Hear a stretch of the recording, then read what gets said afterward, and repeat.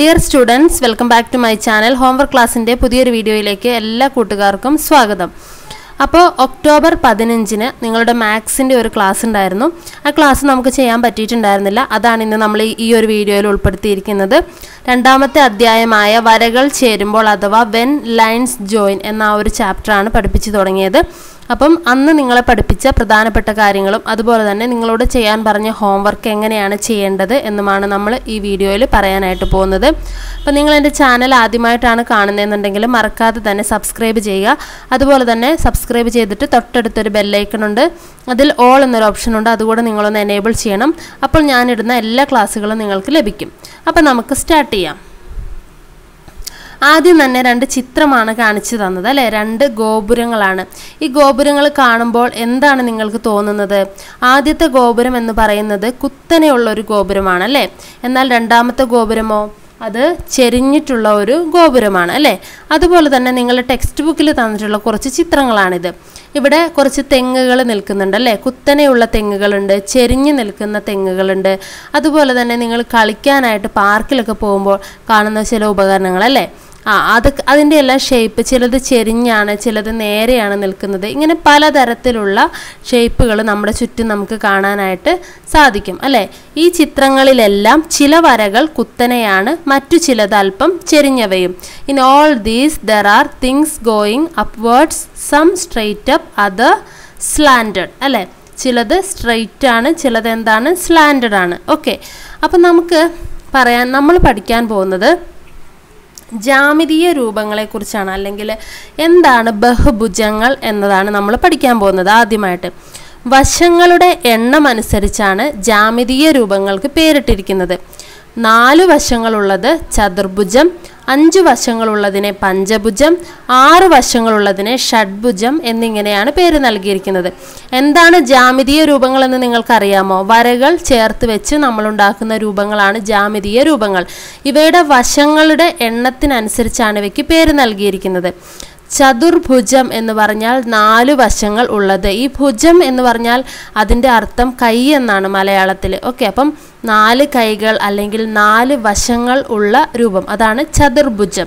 അഞ്ച് വശങ്ങളുള്ള അഞ്ച് വശങ്ങൾ അഞ്ച് എന്ന വാക്കിന് പഞ്ചം എന്നാണ് പറയുന്നത്. അപ്പോൾ പഞ്ചഭുജം ആറ് വശങ്ങളുള്ളതിനെ ഷഡ്ഭുജം ഇങ്ങനെയാണ് പേര് കൊടുത്തിരിക്കുന്നത്. ഓക്കെ.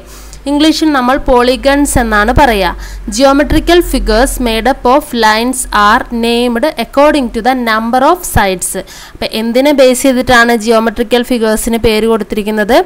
അതിലെ നമ്പർ ഓഫ് സൈഡ്സിനെ ബേസ് ചെയ്തിട്ടാണ്. അതായത് സൈഡുകളുടെ എണ്ണം അല്ലെങ്കിൽ വശങ്ങളുടെ എണ്ണം.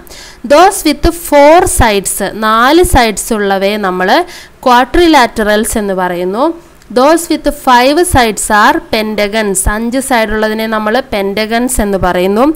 Those with six sides are hexagons ആറ് വശങ്ങളുള്ളതിനെ നമ്മൾ ഹെക്സഗൺസ് എന്നാണ് പറയുന്നത്. ഓക്കെ നമുക്ക് നോക്കാം. ഓരോന്നിന്റെയും ചിത്രം നമുക്ക് പരിചയപ്പെടാം. ആദ്യം തന്നെ തന്നിരിക്കുന്നത് ചതുർഭുജമാണ്. അല്ലെങ്കിൽ ക്വാട്രിലാറ്ററൽ ആണ്. അപ്പോൾ ചതുർഭുജത്തിന് എത്ര വശങ്ങളുണ്ട്? നാല് വശങ്ങൾ. അടുത്തത് പഞ്ചഭുജം. പഞ്ചഭുജത്തിന് അഞ്ച് വശങ്ങളാണ് ഉള്ളത്. അല്ലെങ്കിൽ ഇംഗ്ലീഷിൽ നമ്മൾ പെൻഡഗൺ എന്ന് പറയുന്നു. പെൻഡഗൺ ഹാസ് ഫൈവ് സൈഡ്സ് അടുത്തത് ഏതാണ്? ഷഡ്ഭുജം. ഷഡ്ഭുജത്തിന് ആറ് വശങ്ങളാണുള്ളത് ഇംഗ്ലീഷിൽ ഹെക്സഗൺ എന്ന് പറയും. ഹെക്സഗണിന് സിക്സ് സൈഡ്സ് ആണ് ഉള്ളത്. ഓക്കെ അപ്പം അങ്ങനെയാണെങ്കിൽ ഏഴ് വശങ്ങളുള്ളതിനെ എന്തായിരിക്കും വിളിക്കുന്നത്? ഏഴ് വശങ്ങളുള്ളതാണ് സപ്തഭുജം അല്ലെങ്കിൽ ഇംഗ്ലീഷിൽ സെപ്റ്റഗൺ എന്ന് പറയും. അതായത് geometrical figure with seven sides is called septagon ഏഴ് വശങ്ങളുള്ള രൂപം. അതിനെയാണ് നമ്മൾ സെപ്റ്റഗൺ എന്ന് പറയുന്നത്. എട്ട് വശങ്ങളുള്ളതിനെ നമ്മൾ അഷ്ടഭുജം അല്ലെങ്കിൽ ഒക്ടഗൺ എന്ന് പറയുന്നു. എട്ട് വശങ്ങളുള്ളതിനെ അഷ്ടഭുജം അല്ലെങ്കിൽ ഒക്ടഗൺ അപ്പോൾ നിങ്ങൾ പേരുകളൊക്കെ പഠിച്ചു വയ്ക്കുക നാല് വശങ്ങളുള്ളത് ചതുർഭുജം അഞ്ച് വശങ്ങളുള്ളത് പഞ്ചഭുജം ആറ് വശങ്ങളുള്ളത് ഷഡ്ഭുജം ഏഴ് വശങ്ങളുള്ളത് സപ്തഭുജം എട്ട് വശങ്ങളുള്ളത് അഷ്ടഭുജം. ഇംഗ്ലീഷിൽ എങ്ങനെ പറയും? ഫോർ സൈഡ്സ് ഉള്ളത് quadrilateral polygon with six sides penta pentagon polygon with seven sides polygon with four sides quadrilateral polygon with five sides pentagon polygon with six sides hexagon polygon with seven sides septagon polygon with eight sides octagon. Okay.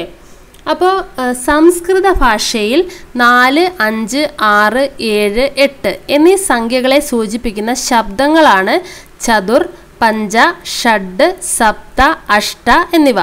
ഭുജം എന്നാൽ കൈ അഥവാ ശാഖ എന്നെല്ലാമാണ് അർത്ഥം. മനസ്സിലായോ? അപ്പോൾ ഈ എങ്ങനെയാ വന്നതെന്ന്? ഈ പേര് സംസ്കൃതത്തിൽ നിന്നാണ് വന്നത്. ചതുർ എന്നാൽ നാല് പഞ്ച എന്ന് പറയുമ്പോൾ അഞ്ച്. നിങ്ങൾ കേട്ടിട്ടില്ലേ? പഞ്ച പാണ്ഡവന്മാർ. അഞ്ച് പേരായിരുന്നു അല്ലേ? ഷഡ് എന്ന് പറഞ്ഞാൽ ആറ് സപ്ത എന്ന് പറഞ്ഞാൽ ഏഴ്. സപ്തസ്വരങ്ങൾ ഏഴ് സ്വരങ്ങളാണ് സംഗീതത്തിൽ നിന്നൊക്കെ കേട്ടിട്ടുണ്ട് അല്ലേ? അഷ്ട എന്ന് പറഞ്ഞാൽ എട്ട്. അപ്പം ഇതിൽ നിന്നെല്ലാമാണ് ഈ പേരുകൾ വന്നിരിക്കുന്നത്. ഓക്കെ. അപ്പോൾ ഇനി നമ്മുടെ ആക്ടിവിറ്റിയാണ് ടെക്സ്റ്റ് ബുക്കിലെ ഒരു പ്രവർത്തനമാണ്. കുറച്ച് രൂപങ്ങൾ തന്നിട്ടുണ്ട്. നിങ്ങൾ ഇതിനെ നിരീക്ഷിച്ച് ഒരു പട്ടിക പൂർത്തിയാക്കണം. ഓക്കെ എന്താ ചെയ്യേണ്ടത്? ഈ ചിത്രങ്ങളിൽ താഴത്തെ വരയിൽ നിന്നും കുത്തനെ മേൽപോട്ട് വരച്ച വരകളും ചെരിച്ചു വരച്ച വരകളും കാണാം. ഉദാഹരണമായി ഒന്നാമത്തെ ചിത്രത്തിൽ ഇടത്തെ വര താഴത്തെ വരയിൽ നിന്നും കുത്തനെ മേൽപോട്ടാണ് വരച്ചത്. വലത്തെ വര അല്പം ചെരിഞ്ഞും. ഇതുപോലെ മറ്റു ചിത്രങ്ങളിലുള്ളവ കണ്ടെത്തി പട്ടികയാക്കൂ എന്നാണ് പറഞ്ഞിരിക്കുന്നത്. ഒന്നാമത്തെ ചിത്രം ഒന്ന് നോക്കിയേ നിങ്ങൾ കണ്ടോ? അതിൽ കുത്തനെയുള്ള ഒരു വരയുണ്ട്. ഇടതുവശത്തുള്ള വര അല്ലേ? അതുപോലെ തന്നെ ചെരിഞ്ഞൊരു വരയുണ്ട്. ഏതാണത്? ഇവിടെ വലതുവശത്തുള്ള വര കണ്ടോ? അപ്പോൾ ഒരു കുത്തനെയുള്ള വരയും ഒരു ചെരിഞ്ഞ വരയുമുണ്ട്. രണ്ടാമത്തെ ചിത്രത്തിൽ രണ്ട് കുത്തനെയുള്ള വരകളുണ്ട്. ഒന്ന് ഇടത്തും ഒന്ന് വലത്തും. അല്ലേ? മൂന്നാമത്തെ ചിത്രത്തിലോ? മൂന്നാമത്തെ ചിത്രത്തിൽ ഇടത്തുവശത്തുള്ള വര ചെരിഞ്ഞും വലതുവശത്തുള്ള വര കുത്തനെയുമാണ്. അല്ലേ? നാലാമത്തെ ചിത്രത്തിൽ ഇടതുവശത്തും വലതുവശത്തും ഉള്ള വരകൾ കുത്തനെയാണ്. അതിൽ ചെരിഞ്ഞ വര ഇല്ല. അഞ്ചാമത്തെ ചിത്രത്തിൽ ഇടതുവശത്തും വലതുവശത്തുമുള്ള വരകൾ രണ്ടും ചെരിഞ്ഞാണ്. ആറാമത്തെ ചിത്രത്തിൽ ഇടതുവശത്തും വലതുവശത്തുമുള്ളത് കുത്തനെയും മുകളിലുള്ള വര ചെരിഞ്ഞുമാണ് ഇരിക്കുന്നത് അല്ലേ? ഏഴാമത്തെ ചിത്രത്തിൽ ഇടതുവശത്തും വലതുവശത്തുമുള്ള വരകൾ ചെരിഞ്ഞാണ് ഇരിക്കുന്നത്. എട്ടാമത്തെ ചിത്രത്തിൽ ഇടതുവശത്തെ വര നിവർന്നും അല്ലെങ്കിൽ കുത്തനെയും വലതുവശത്തെ വര ചെരിഞ്ഞുമാണ് ഇരിക്കുന്നത്. അപ്പോൾ ഇതാണ് നിങ്ങൾ പട്ടികയിൽ പൂരിപ്പിച്ചു കൊടുക്കേണ്ടത്. അപ്പോൾ ഇവിടെ പട്ടിക തന്നിട്ടുണ്ട്. ചിത്രം കുത്തനെയുള്ള വര ചെരിഞ്ഞിരിക്കുന്ന വര എന്ന് നിങ്ങൾ എഴുതണം. ഏത് വരകളാണ് കുത്തനെയുള്ളത് ഏത് വരകളാണ് ചെരിഞ്ഞിരിക്കുന്നത്. ഒന്നാമത്തെ ചിത്രത്തിൽ തന്നിട്ടുണ്ട് കുത്തനെയുള്ള വര ഇടത്തെ വരയാണ് ചെരിഞ്ഞിരിക്കുന്ന വര വലത്തെ വരയാണ്. രണ്ടാമത്തെ നിങ്ങൾ എഴുതണം മൂന്ന് എഴുതണം. ഇപ്പം നമ്മൾ പറഞ്ഞില്ലേ അത് ഇതുപോലെ എഴുതിയാൽ മതി. രണ്ടാമത്തേതിൽ കുത്തനെയുള്ള വര ഇടത്തെ വരയും വലത്തെ വരയും കുത്തനെയുള്ളതാണ്. മൂന്നാമത്തേതിൽ വലത്തെ വര കുത്തനെയുള്ളതും ഇടത്തെ വര ചെരിഞ്ഞിരിക്കുന്നതുമാണ്. നാലാമത്തേതിൽ ഇടത്തെ വരയും വലത്തെ വരയും കുത്തനെയുള്ളതാണ് അഞ്ചാമത്തേതിൽ രണ്ടും ചെരിഞ്ഞതാണ് അല്ലേ? ഇടത്തെ വരയും വലത്തെ വരയും ചെരിഞ്ഞതാണ്. ആറാമത്തേതിൽ ഇടത്തെ വര വലത്തെ വര ഇത് രണ്ടും കുത്തനെയും മുകളിലെ വര ചെരിഞ്ഞുമാണ് ഇരിക്കുന്നത്. ഏഴാമത്തേതിൽ ഇടത്തെ വരയും വലത്തെ വരയും ചെരിഞ്ഞാണ് ഇരിക്കുന്നത്. എട്ടാമത്തേതിൽ ഇടത്തെ വര വലത്തെ വര അതായത് ഇടത്തെ വര കുത്തനെയും വലത്തെ വര ചെരിഞ്ഞുമാണ് ഇരിക്കുന്നത്. ഓക്കെ ഇത് നിങ്ങൾ പൂർത്തിയാക്കുക. ഇനി ഇംഗ്ലീഷിലാണെങ്കിൽ in these some sides go straight up from the bottom line and some are at a slant ചില ലൈൻസ് എന്താണ്? സ്ട്രൈറ്റ് ആണ് ചിലത് സ്ലാൻഡ് ആണ് ചെരിഞ്ഞിട്ടാണ്. For example look at the first one left line goes straight up left line straight ആണ് while the right one is slanted right one എങ്ങനെയാണ്? Slanted ആണ്. ഇതുപോലെ തന്നെ നമ്മൾ എഴുതണം. ഓക്കെ അപ്പം ഒന്നാമത്തേതിൽ ലെഫ്റ്റ് ലൈനാണ് അപ്റൈറ്റ് അല്ലെങ്കിൽ മുകളിലേക്ക് നിൽക്കുന്നത് റൈറ്റ് ലൈൻ സ്ലാൻഡഡ് ആണ്. രണ്ടാമത്തതിൽ ലെഫ്റ്റും റൈറ്റും അപ്റൈറ്റ് ആണ് അല്ലേ? മൂന്നാമത്തതിൽ ലെഫ്റ്റ് ലൈൻ അപ്റൈറ്റും റൈറ്റ് എന്താണ്? സ്ലാൻഡഡുമാണ് നാലാമത്തതിൽ ലെഫ്റ്റ് ലൈനും റൈറ്റ് ലൈനുമാണ് അപ്റൈറ്റ് അഞ്ചാമത്തേത് ലെഫ്റ്റ് ലൈനും റൈറ്റ് ലൈനും സ്ലാൻഡഡ് ആണ്. ആറാമത്തേതിൽ ലെഫ്റ്റും റൈറ്റും അപ്റൈറ്റും അപ്പർ ലൈൻ സ്ലാൻഡഡുമാണ് ഏഴാമത്തേതിൽ ലെഫ്റ്റ് ലൈനും റൈറ്റ് ലൈനും സ്ലാൻഡഡ് ആണ്. എട്ടാമത്തേതിൽ ലെഫ്റ്റ് ലൈൻ അപ്രൈറ്റും റൈറ്റ് ലൈൻ സ്ലാൻഡഡുമാണ് ഓക്കെ ഇതുപോലെ തന്നെ പൂർത്തിയാക്കുക. ഇനി നമ്മൾ അടുത്തതായിട്ട് പഠിക്കാൻ പോകുന്നത് എന്താണ് ഒരു മട്ടം എന്നാണ്. രാമേട്ടൻ ഒരു മരപ്പലകയിൽ നിന്നും ചതുരാകൃതിയിലുള്ള മരക്കഷ്ണം മുറിച്ചെടുക്കാൻ ശ്രമിക്കുകയാണ്. ഒരു വശം മറ്റേ വശത്തിന് കുത്തനെയാക്കുന്നതിന് രാമേട്ടൻ ഉപയോഗിച്ച ഉപകരണം കണ്ടുവല്ലോ. ആ ചിത്രം നിങ്ങളുടെ ടെക്സ്റ്റ് ബുക്കിലുണ്ട് ഇതിനെ നമ്മൾ മട്ടം എന്നാണ് വിളിക്കുന്നത്. അതായത് ഒരു വരയ്ക്ക് നേരെ കുത്തനെ അടുത്ത വര വരയ്ക്കാനായിട്ട് നമ്മൾ ഉപയോഗിക്കുന്ന ഉപകരണം. അതിനെയാണ് മട്ടം എന്ന് വിളിക്കുന്നത്. നമ്മുടെ ജാമിതി പെട്ടിയിലും രണ്ട് മട്ടങ്ങൾ ഉണ്ട്. മട്ടത്തിന് ഇംഗ്ലീഷിൽ പറയുന്നത് സെറ്റ് സ്ക്വയർ എന്നാണ്. ഓക്കെ അപ്പോൾ ഇംഗ്ലീഷിൽ അങ്ങനെ പറയാം? Ramu is trying to cut out a rectangle from a wooden plank see the tool he uses to make a side straight up from the other ഒരു സൈഡ് സൈഡിൽ നിന്ന് മറ്റേ സൈഡ് സ്ട്രെയിറ്റ് ആയിട്ട് വരയ്ക്കാനായിട്ട് അദ്ദേഹം ഉപയോഗിച്ച ഉപകരണം അല്ലെങ്കിൽ ടൂൾ അതിനെയാണ് നമ്മൾ എന്ത് പറയുക? സെറ്റ് സ്ക്വയർ എന്ന് പറയുക. അപ്പോൾ ഇംഗ്ലീഷിൽ എന്താ പറയുന്നത്? മട്ടത്തിന് സെറ്റ് സ്ക്വയർ മലയാളത്തിൽ മട്ടം എന്ന് പറയും. Your geometry box also has a pair of set square നിങ്ങളുടെ ജിയോമെട്രി ബോക്സിൽ ഒരു പെയർ സെറ്റ് സ്ക്വയർ ഉണ്ടെന്നാണ് പറഞ്ഞത് അതായത് രണ്ടെണ്ണം. കാണിച്ചു തരാം ഏതൊക്കെയാണെന്ന്. നിങ്ങൾ തന്നെ കണ്ടിട്ടുണ്ടാവും നിങ്ങളുടെ ബോക്സിൽ രണ്ട് ആകൃതിയിൽ. അതായത് കുറച്ച് വ്യത്യാസമുണ്ട് ഷേപ്പിൽ അങ്ങനത്തെ രണ്ട് സെറ്റ് സ്ക്വയർ നമ്മുടെ ബോക്സിൽ കാണാം. മലയാളത്തിൽ രണ്ട് മട്ടങ്ങൾ. ഓക്കെ എന്തിനാണ് ഇത് ഉപയോഗിക്കുന്നതെന്ന് ഇപ്പം നിങ്ങൾക്ക് മനസ്സിലായോ?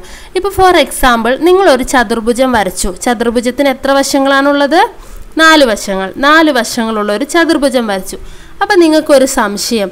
ഈ വരച്ചിരിക്കുന്ന വരകളെല്ലാം കറക്റ്റ് ലംബമാണോ? അതായത് ഒരു വരയ്ക്ക് ലംബമായിട്ട് തന്നെയാണോ അടുത്ത വര വരച്ചിരിക്കുന്നത്? അല്ലെങ്കിൽ കുത്തനെയാണോ അടുത്ത വര വരച്ചിരിക്കുന്നത് നിങ്ങൾക്കൊരു സംശയമുണ്ട്. നമുക്കതൊന്ന് അളന്ന് നോക്കണം. ഇതിനു വേണ്ടി നമ്മൾ ഉപയോഗിക്കുന്ന ഉപകരണമാണ് മട്ടം അല്ലെങ്കിൽ സെറ്റ് സ്ക്വയർ എന്ന് പറയുന്നത്. എങ്ങനെയാണ് സെറ്റ് സ്ക്വയർ ഉപയോഗിച്ചിട്ടൊന്ന് അളന്ന് നോക്കുന്നത്? ഈ ചിത്രത്തിലേക്ക് നോക്കിക്കേ നിങ്ങൾ കണ്ടോ? ആ ചതുർഭുജത്തിന്റെ ഏറ്റവും താഴത്തെ ലൈനിലേക്ക് നമ്മൾ ആ മട്ടം ചേർത്ത് വെക്കുകയാണ്. ഓക്കെ ഏത് ഭാഗമാണ് ചേർത്ത് വെക്കേണ്ടത്? എൽ ഷേപ്പുള്ള ആ ഒരു ഭാഗം ചേർത്ത് വെക്കണം. ആ ചേർത്ത് വെക്കുമ്പോൾ ആ മട്ടത്തിന്റെ മുകളിലേക്കുള്ള വരയും നിങ്ങൾ വരച്ച വരയും ഒരേപോലെയാണോ നിൽക്കുന്നത് എന്ന് നോക്കണം അങ്ങനെയാണെങ്കിൽ നമുക്ക് എന്ത് പറയാം? ചതുർഭുജത്തിലെ ആ രണ്ട് വരകളും ആ ഒരുപോലെ അല്ലെങ്കിൽ ആ രണ്ട് വരകളും കുത്തനെയാണ്. ഒരു വര മറ്റൊന്നിന് കുത്തനെയായിട്ടാണ് വരച്ചിരിക്കുന്നതെന്ന് പറയാം അല്ലേ? അപ്പം ഇതിന് വേണ്ടിയാണ് എന്ത് ഉപയോഗിക്കുന്നത്? സെറ്റ് സ്ക്വയർ ഉപയോഗിക്കുന്നത്. ഓക്കെ അപ്പം എല്ലാവർക്കും മനസ്സിലായിട്ടുണ്ടാവുമെന്ന് വിചാരിക്കുന്നു. ഇനി നിങ്ങളുടെ പ്രവർത്തനം. ഇഷ്ടമുള്ള വലിപ്പത്തിൽ നിങ്ങളുടെ നോട്ട് പുസ്തകത്തിൽ ചതുർഭുജങ്ങൾ വരയ്ക്കുക. നിങ്ങൾ വരച്ച ചതുർഭുജങ്ങളുടെ വശങ്ങൾ താഴത്തെ വരയിൽ നിന്നും കുത്തനെയാണോ എന്ന് സെറ്റ് സ്ക്വയർ അഥവാ മട്ടം ഉപയോഗിച്ച് പരിശോധിക്കുക. Draw quadrilaterals in your notebook and check the sides of this quadrilaterals go straight up from the bottom line by using set squares അപ്പം നിങ്ങൾ എന്താ ചെയ്യേണ്ടതെന്ന് അറിയാമോ? കുറച്ച് ചതുർഭുജങ്ങൾ വരയ്ക്കുക. ചതുർഭുജം വരയ്ക്കാൻ നിങ്ങൾക്ക് അറിയില്ലേ നാല് വരകൾ വരച്ച് യോജിപ്പിക്കുക. ചതുരങ്ങൾ വരയ്ക്കുന്ന പോലെ തന്നെ. എന്നിട്ട് ഓരോന്നും നിങ്ങൾ മട്ടം ഉപയോഗിച്ച് നമ്മളിപ്പോൾ തൊട്ട് മുമ്പ് കാണിച്ച ചിത്രമില്ലേ? ഇതുപോലെ. ആ ഇതുപോലെ തന്നെ പരിശോധിച്ച് നോക്കുക. നിങ്ങൾ വരച്ച വരകൾ ഇതുപോലെ കറക്റ്റ് ആയിട്ടാണോ നിൽക്കുന്നത്? അതെയോ ഇവിടെ ഒരു ചെറിയ വ്യത്യാസം കാണുന്നുണ്ട് അല്ലേ? അതുപോലെ വ്യത്യാസപ്പെട്ടാണോ നിൽക്കുന്നത് എന്ന് നിങ്ങൾ നോക്കുക. ഇതാണ് നിങ്ങളുടെ പ്രവർത്തനം. ഓക്കെ.